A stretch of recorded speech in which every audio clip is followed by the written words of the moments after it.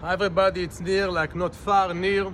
When you want food that's authentic and tastes good and Israeli, makes you feel like you're home, go to 12 Chairs. That's a, that's a restaurant, you know.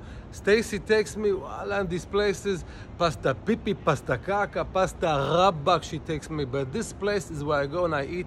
You feel like you're, you're in Israel, you're in Israel.